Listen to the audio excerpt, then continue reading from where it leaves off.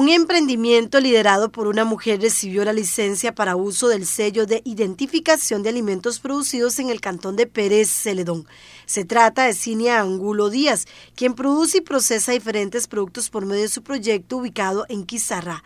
Ella trabaja bajo la marca de productos artesanales Colibrí, cumpliendo con todos los requisitos para ser usuaria en la categoría convencional.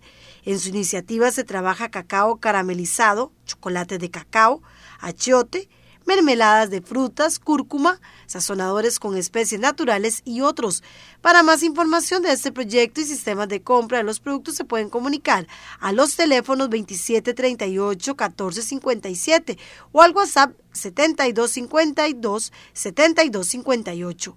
Cabe indicar que la marca Café Abuelo Talí cumplió con todos los requisitos para ser usuario también de la categoría convencional.